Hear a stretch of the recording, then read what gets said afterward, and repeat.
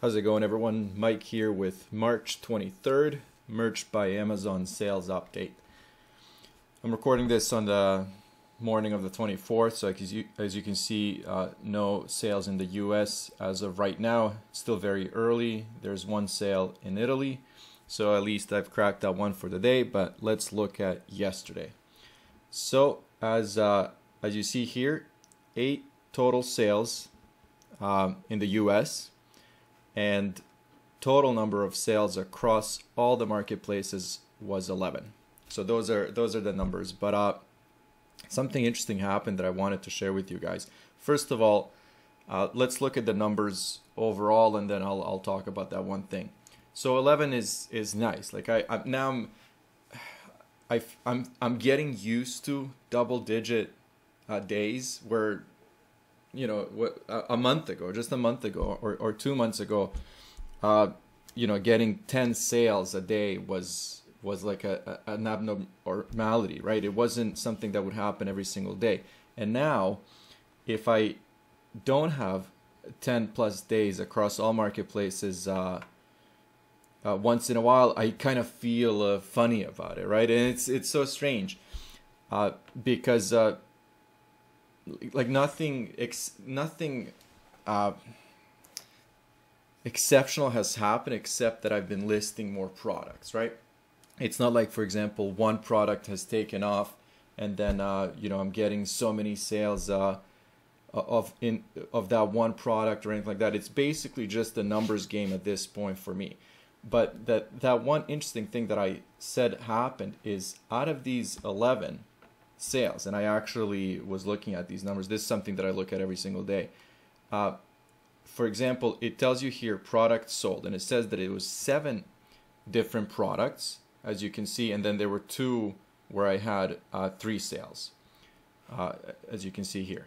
So basically, seven different products, 11 total sales, and here's the interesting part. Out of these seven products, five, so five were new products that I've actually listed in the last, uh, let, us say, a month. I don't know exactly when when uh, they were, but as you can see here, they are mostly, and, and I'm realizing now, a lot more uh, phone cases are selling. So when I started, this was like a year or two ago, when I started listing pop sockets, they uh, really took over. They, the pop sockets became my number one seller uh, and, and really beat out t-shirts. Uh, but again, t-shirts will always sell. It's the, it's the number one seller. There's no competition. But pop sockets really did take over. And now what I'm noticing is phone cases and specifically iPhone cases are slowly taking off. And the the interesting fart, uh, part, not fart, for me is that uh, it's designs that I I personally, for example, if I was to get a phone case, I wouldn't get those designs on my phone case, and and that that has constantly uh, happened to me over the last, let's say, couple of months, where I've actually started paying attention to you know which design I'm putting on what product. I wasn't just simply like doing a mass upload and basically saying this design is going on everything, and basically the, the conclusion is that I'm wrong, and I don't want to say most of the time, but let's just say that I have to admit that people don't have the same uh, taste as I do in uh, in products overall. For example, uh, people definitely uh, will buy designs and and put them on their cell phone that I would be like, no, this this would only work uh, on a T-shirt, for example, or I've even seen some pop sockets that are selling where where I was like, this is a perfect design for a T-shirt, and and that's something that actually I have to pay attention to because that opens up a lot of uh, opportunities for for sales. I was completely wrong about the Japanese marketplace, where I thought that the English text-based T-shirts won't sell. They're selling. Uh, I was I was wrong about uh, phone cases. and and it just tells you, I guess, to to take a chance. So the, I, guess the, the only thing that I can uh, provide like a like a helpful thing out of this video is take a chance on certain designs. Don't be so certain that you know what will sell. Uh, that's that's kind of the only summary that I can give you. Anyways, let's look at the the numbers overall. Last seven days, again, this is uh, the zero is included.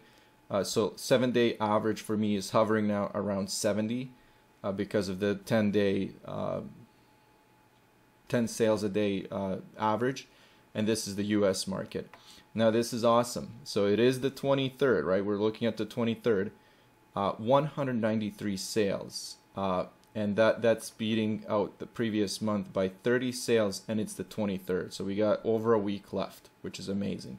Let's look at the numbers overall. So I was I was mentioning in some of my previous videos that this might be like I don't want to jinx it and, and say there's going to be the best month since November, but it's definitely cracking 200, and we'll see how far I get. I, I, I wouldn't be surprised if it beats January, uh, which is awesome. Uh, and then as you can see here, total royalties uh, for the the U.S. market is 675 uh, dollars, which is awesome. And uh, and let's look at the month uh, overall. Let's actually, I wanted to look at the, the sales uh, and we can, we can do that here. So this month, uh, let's exclude today. So we'll go from the 1st to the 23rd, all marketplaces. We'll look at the data. So this is the total. The total for the month across all marketplaces is 237, uh, which is uh, I I can't I can't do the conversion quickly, but we're looking at close to uh, forty five hundred dollars in uh, sales for the month, and royalties uh, are over eight hundred dollars at this point. So again, we have uh, what is it, the twenty third, twenty fourth. Let me just pull up the calendar here. So that gives us one, two, three, four, seven, eight days. So eight days to go and this is where I stand right now. So I'm extremely happy with this month. I've I've uh, taken down about uh, six to seven hundred. Uh, I'll go back to the first page. Six to seven hundred uh, tote bags and pillows uh, yesterday, and uploaded another maybe 600 products of, of different designs. And that was my plan. So if anything that, that, for example, isn't selling in certain product categories, I'm taking them out down immediately as soon as I get my spreadsheets ready and uplo I'm uploading new products. So, so again, this number will, I, I keep using the word recycle, like we're I'm going to go through this and this is going to change, you know, by thousands uh, over the next couple of weeks, which is according to my plan. And, and things are looking good. Uh, 966, and again, I don't know if this number is ex exactly accurate, but I remember when I was at tier uh, 8,000, my percentage was uh, about 10 to 11% products with sales. So I'm going to give this couple of months to, to actually uh, keep getting those sales because uh, if, it, if it reaches 10 or 11% at some point, that's going to be amazing. Uh, and this number grows every single day. Anyways, uh, just to summarize, the last thing as I as I like to do is to, to mention, you know, hey, I still wouldn't have been tiered up to 10,000. So the fact that we're here tier 20,000 is just incredible. Uh, anyways, great month. It might be the best month, uh, you know, probably since 2019, if not if not longer. But I, I like I said, I don't want to jinx it. Uh, overall results are great. I'm super happy. Thanks for watching, guys.